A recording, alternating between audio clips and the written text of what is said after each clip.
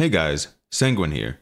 So after tuning in live to the Summer Games Fest 2024, I was able to see the final Season 3 trailer, and I have to say, I was rather disappointed to see it was a small teaser for the official video that will be released before Season 3's official release. However, I must say, I did thoroughly enjoy the teaser. With the teaser, we were able to see the brand new, and might I add, amazing looking new map, Kyoto 1568. A more in depth analysis of what we saw and Embark's plans for Season 3 can also be seen on Steam. Light received a bow, as well as a new long range breaching tool for a gadget. Medium received dual katanas with the ability to block incoming bullets, and Heavy received a spear as well as a gadget to hook in their enemies. Now, if I were to give my personal opinion on these additions, I'll have to say it's simply not my cup of tea. I've always been a more ranged weaponry kind of person and prefer that playstyle. I was hoping that they would lean into more guns, but that's just me. However, I'm sure for you melee lovers, these additions are right up your alley and are sure to shake up all of our games. Delving more into the Steam article, we can see other, and might I say, controversial plans for Season 3. The biggest plan is to shift their premier ranked mode, Cash Out, to the once limited time mode, Terminal Attack. This change has definitely caused a great rift in the community as evidenced by the final subreddit and their own Discord. With such a bold change, one could really ponder the question why? Why undergo these drastic changes to the game? Well, to me, this is an effort to bring in more players.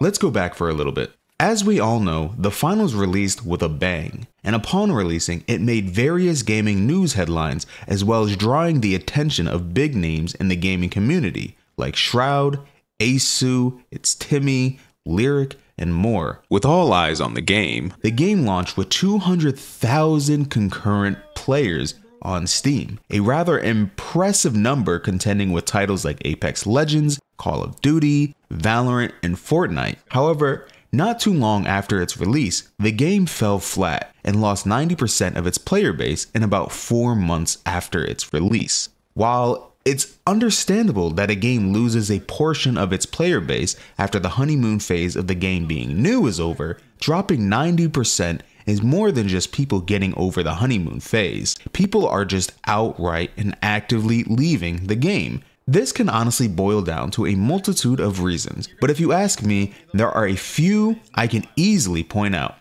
The Finals is a movement shooter at its core. Every movement shooter, with the exception of Apex Legends, has either died or dwindled into small niche communities. And in the case of Apex, movement is more inconsequential and situational. This is because of the nature of Apex's rotational aim assist on controller.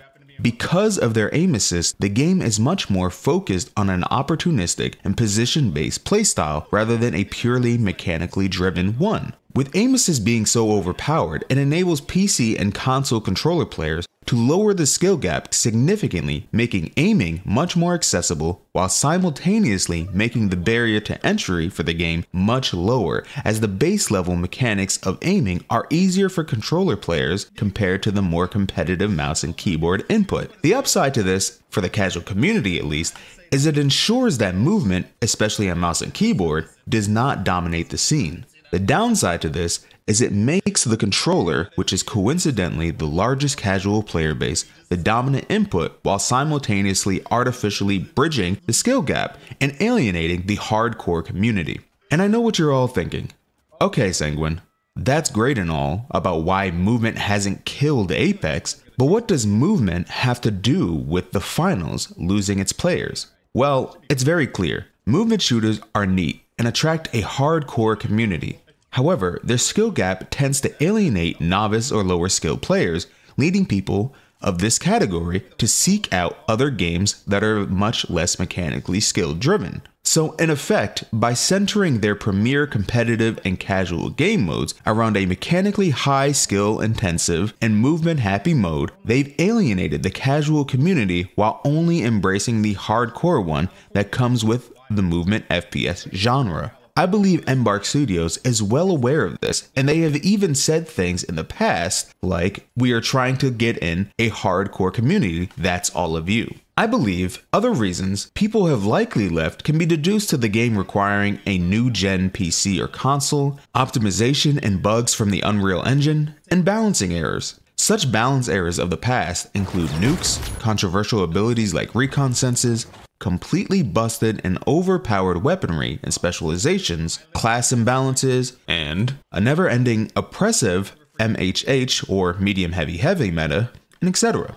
So, how does this all tie in with why such dramatic changes are underway? And furthermore, why is Cash Out being replaced with Terminal Attack as the new official ranked mode? Well, with Nexon revealing that the finals did not perform as well as they were hoping with its explosive release, and the evident drop of 90% of the concurrent player base it started out with, I believe Nexon are pushing Embark to better compete with their competitors in the live service shooter market. In order to do this, they're making Terminal Attack the focus of the game.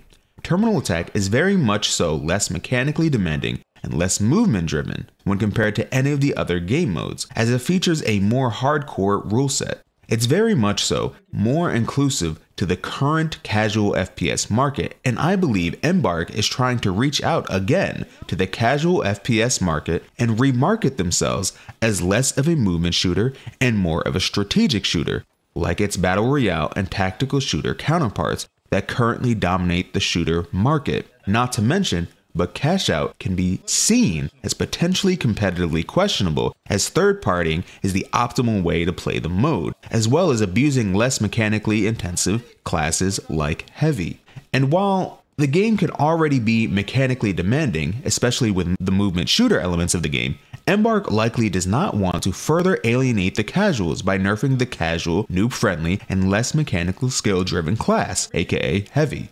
If you look at it from their perspective, keeping things less casual and more movement happy has caused the issue of player numbers being down. So nerfing the class that's the most accessible for the casuals, all because the hardcore player base is abusing the said thing, is not what Embark seems to want to do. Instead, they would rather keep heavy over tune and try a different game mode where the class could be less effective in the meta shifting the game to a less mechanically focused one and more of a casual tactics and positioning one might just be the thing that turns the tide for Embark and Nexon's revenue stream. Not to mention, but within Embark's own Discord, they also announced that the cash out mode is not going away permanently. It is likely going to be temporarily benched until they figure out how to balance the mode itself as well as the pain points and the oppressive elements of the game, therefore bringing things in better tune and more competitively viable before embarking further down the cash out road. In addition to all of that, the cash out ranked mode will instead be a weekly event still present in the game while they are currently workshopping the cash out mode in general, making it more competitively balanced and trying to break in the pain points that people take issue with in the cash out mode. I'm genuinely curious. Will this change alienate the remaining player base and fail to drive in more players? Or will it succeed and drive in more players that will also come to enjoy the more mechanically challenging game modes? Only time will tell, and we as a community should embrace the change as it is a rather Hail Mary play to drive in more players. If Nexon can't get Embark to make the finals profitable, then it's likely bye bye to the finals and everything it has provided so far. If it fails, then it's back to the mechanically drab plethora of modern day shooters. Let me know what you all think in the comment section below. Do you agree? Disagree? And if you agree or disagree, please let me know your FPS or shooter years of experience. I like to know opinions of all entry levels. Please like the video if you enjoy my content, and that's all from me, family. Take it easy and peace. We're just gonna leave that there, bro. We're just gonna call it a day.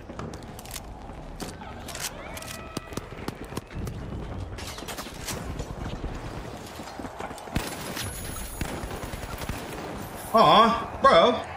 Someone's about to get the kill. Man, we're just on it.